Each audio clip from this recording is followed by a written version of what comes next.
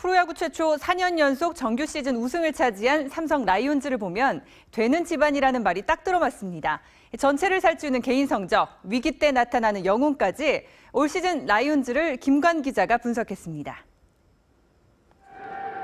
올해 39배 이승엽, 나이를 잊은 시원한 스윙으로 담장을 넘깁니다.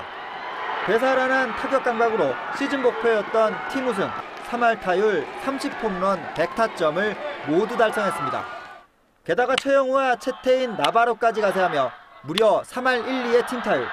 삼성은 가공할 공격력을 뽐냈습니다.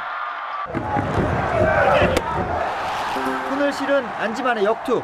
삼성의 불펜을 책임지고 있는 안지만은 올가을 유독 유중일 감독과 궁합이 좋습니다. 아시안 게임에서도 호투로 유 감독을 덮더니 시즌 막판에도 결정적인 활약으로 우승에 기여했습니다. 끝판왕 오승환의 일본 진출로 걱정됐던 마무리 공백. 하지만 그 빈자리 베테랑 임창용이 빈틈없이 메웠습니다. 덕분에 올 시즌 누수 없는 막강 전력을 유지했습니다. 그야말로 되는 집안 삼성 라이온즈 전대미문의 4년 연속 정규 시즌 우승의 기쁨도 있고 여덟 번째 한국 야구 왕자를 향해 곧장 달려가고 있습니다. TV조선 김건입니다.